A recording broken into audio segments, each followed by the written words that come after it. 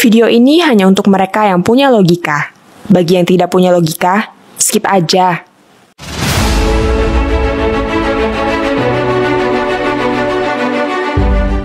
Kesaksian Omar Dhani tentang dokumen Gilchrist dan Dewan Jenderal.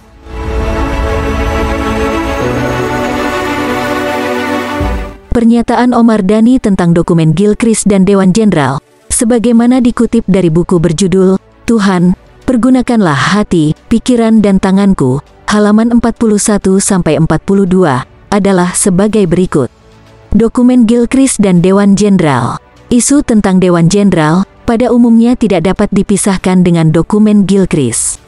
Dalam rapat di Istana Negara pada tanggal 26 Mei tahun 1965, dokumen Gilchrist dan Dewan Jenderal dibicarakan dengan Menpangat.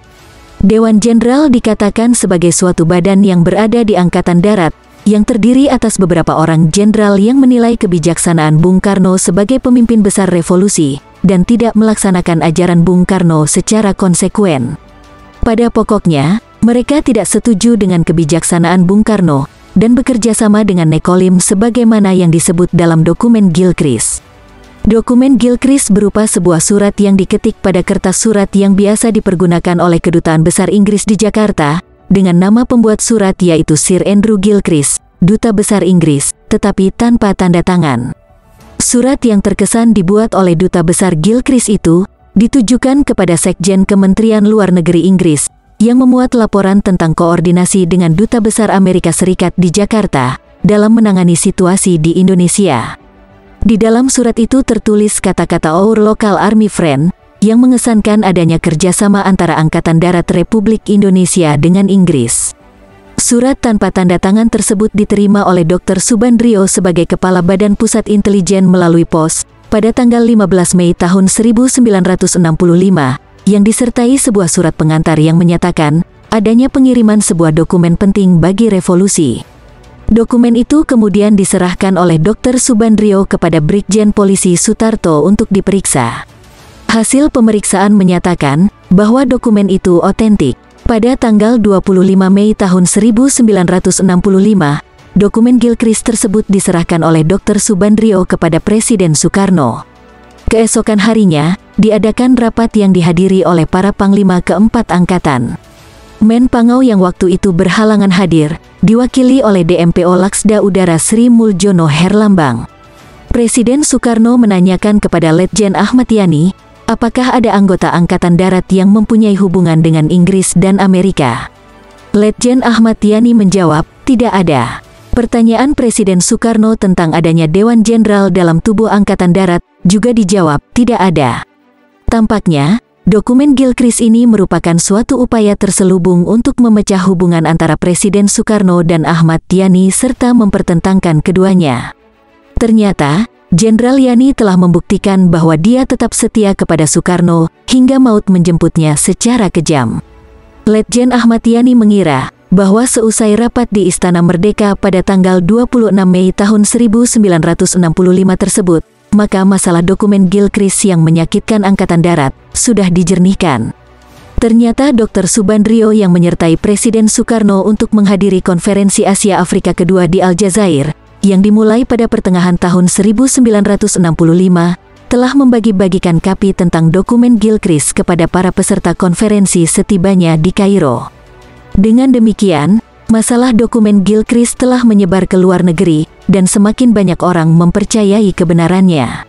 Dalam pledoi di depan Mahmilep, yang dikutip ulang dalam memoar di atas halaman 229 sampai halaman 230, Pak Omar Dhani juga menulis. Persoalan Dewan Jenderal saya kira tidak dapat dipisah-pisahkan dengan dokumen Gilchrist. Waktu saya ditanya, apakah saya setelah dalam rapat di istana tanggal 26 Mei tahun 1965, di mana dokumen Gilchrist dan Dewan Jenderal telah dibicarakan dengan Menpangat, masih belum yakin bahwa Dewan Jenderal tidak ada. Saya jawab bahwa saya belum yakin. Walaupun Bapak telah berkata bahwa menurut Menpangat, Dewan Jenderal sudah dibubarkan, saya toh masih belum yakin juga. Hal ini disebabkan karena saya tidak lagi memandang atau mempersoalkan Dewan Jenderal sebagai suatu badan yang terdiri jenderal ini dan itu. Tetapi saya merasa bahwa di dalam tubuh Angkatan Darat ada beberapa jenderal dan atau perwira lain yang menilai kebijaksanaan Bapak pemimpin besar revolusi dan yang tidak melaksanakan ajaran-ajaran Bung Karno secara konsekuen. Pada pokoknya, yang tidak setuju dengan polisi Bapak dan yang kerjasama dengan Nekolim. Siapa-siapa mereka ini saya tidak tahu, tetapi mereka inilah yang selanjutnya saya maksud dengan perkataan Dewan Jenderal. Sebab apa saya percaya, bahwa perseorangan ini memang ada di dalam tubuh Angkatan Darat, dikarenakan saya mengalami dan mendengar hal-hal seperti di bawah ini. Peristiwa tanggal 17 Oktober tahun 1952, PRRI Permesta, DITII, Liga Demokrasi, Peristiwa Tiga Selatan, merupakan kejadian-kejadian yang keseluruhannya atau sebagian menyangkut Angkatan Darat.